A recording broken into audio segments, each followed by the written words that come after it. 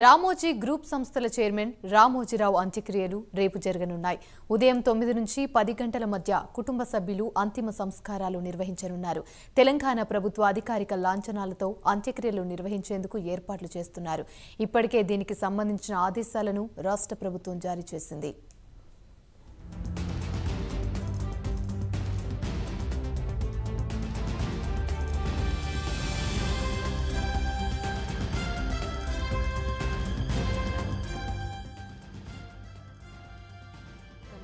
ప్రస్థానం.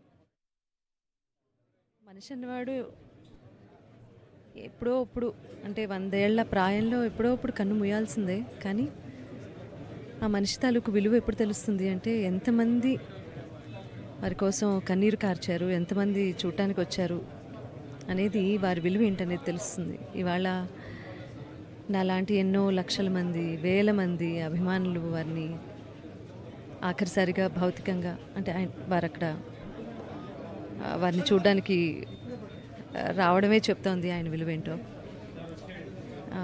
ఒక ఎంపైర్ స్థాపించారు ఎంతోమందికి అన్నం పెట్టారు ఎంతోమందికి స్ఫూర్తిదాయకంగా నిలిచారు రామోజీరావు గారు. భవిష్యత్ తరాలకు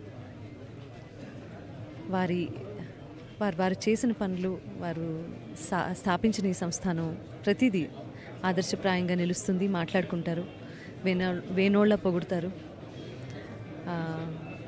ఇలా ఎప్పుడు ఆర్ఎఫ్సికి వస్తానని అనుకోలేదు. తొంభై ఏళ్ళు ఖచ్చితంగా బతుకుతారు అని వారు అని వారి కుటుంబ సభ్యులతో సహా నేను కూడా అనుకున్నాను. కానీ దేవుడు ఒకటి రాసిస్తాడు. దాన్ని మనం ఎవరూ తప్పించలేము కాబట్టి వారికి సద్గతి ప్రసాదించాల్సిందిగా భగవంతుడిని మనసారా కోరుకుంటున్నాను. రామోజీరావు గారు లివ్స్ ఫర్ ఎవర్. നമസ്കാരം